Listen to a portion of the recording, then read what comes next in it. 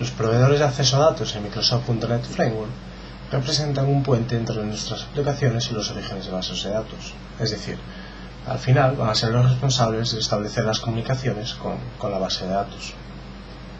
Microsoft.NET Framework nos proporciona una variedad de proveedores para conectarnos con bases de datos. Estos proveedores, por ejemplo, podrían ser odbc.net, odb.net, eh, Oracle Client y SQL Server.net.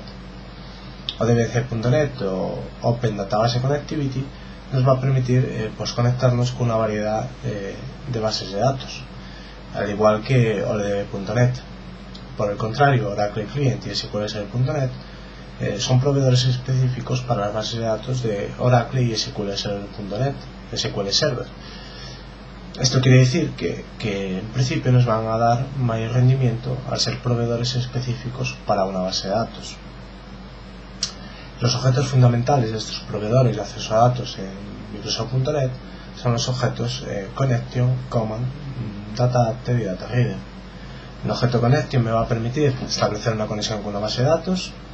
Para ello tengo que especificar pues, la cadena de conexión que va a depender pues, de la base de datos y del proveedor que esté utilizando eh, en el atributo Connection String Bien, los objetos coma me va a permitir ejecutar eh, comandos SQL contra una base de datos, comandos de tipo, por ejemplo, update, insert o un set, y está apoyado por una serie de métodos como son los execute non-query, execute reader o execute scalar.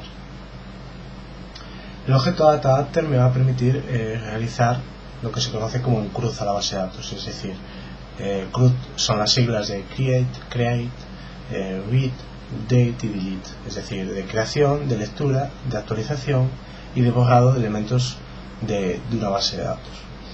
Esto me lo va a permitir gracias a pues, eh, cuatro comandos que contiene eh, los adaptadores o los data adapters. Estos comandos son los select command, los de delete command, los insert command y los update command.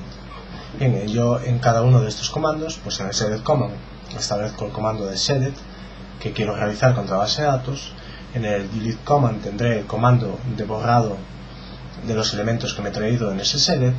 Eh, al igual que en el update tendré el de, de actualización update eh, y en el de insert tendré eh, pues el de borrado el de inserción perdón. Bien el otro objeto fundamental que tengo dentro de los proveedores de, de acceso a datos en Microsoft.NET Framework eh, son los objetos data bien esto es un objeto especial que me proporciona un gran rendimiento de lectura y como inconveniente tiene pues que es en una sola dirección. Bien, veremos más adelante que esto es, mm, este rendimiento se obtiene gracias a que es un objeto que está conectado eh, mientras está realizando la lectura a la base de datos. Al contrario que, por ejemplo, eh, un data adapter cuando hace un select, que hace el select y se desconecta, ¿de acuerdo? Y después nosotros podemos trabajar pues eh, con el dataset o con los data table pues bien, leyendo en un sentido o leyendo en otro.